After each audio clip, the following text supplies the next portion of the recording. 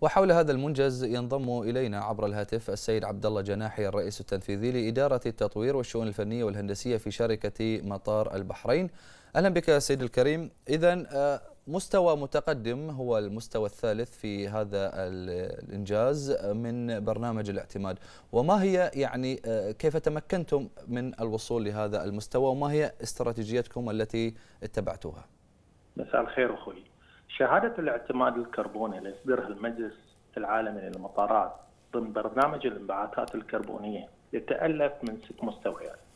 واستطاع مطار البحرين بالتعاون والتنسيق مع الشركات العاملة في المطار تحقيق وبنجاح المستوى الثالث من هذا البرنامج واللي وهو مستوى التحسين. ويتطلب هذا المستوى من مشغل المطار توسيع حسابات البصمة الكربونية ليشمل الانبعاثات غير المباشرة واشراك الجهات المعنية وتوجيهها لتقليل نسب الانبعاثات الكربونية.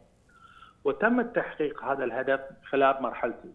المرحلة الأولى توسيع نطاق إدارة الانبعاثات الكربونية في شركة مطار البحرين بصفتها المسؤول عن تشغيل المطار لتشمل الانبعاثات الصادرة عن بعض العمليات التي يقوم بها الموظفين أو المسافرين لأغراض العمل أو الركاب وغيرها. المرحلة الثانية إشراك جميع الجهات المعنية وتوجيهها للبدء في حساب بصماتها الكربونية الخاصة وتعزيز الوعي حول قضية الانبعاثات الكربونية وتغيير المناخ والأهم من ذلك كله توجيهها حول كيفية تقليل الانبعاثات الكربونية. نعم آه، سيد الكريم آه، ما أهمية هذا البرنامج بالنسبة للبحرين وكذلك هذه الشهادة آه، يعني حتى من الناحية البيئية؟ هدفنا في مطار البحرين الدولي هو مواكب التطورات العالمية في هذا المجال والمحافظة على البيئة من خلال تخفيف الانبعاثات الكربونية الناجمة عن عمليات الطيران من خلال تحسين إدارة الكربون في الشركات الرئيسية العاملة في مطار البحرين الدولي.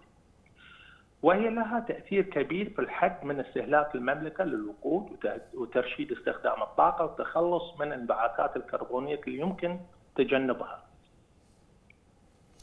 نعم شكرا لك سيد عبد الله جناحي الرئيس التنفيذي لإدارة التطوير والشؤون الفنية والهندسية في شركة مطار البحرين شكرا جزيلا لك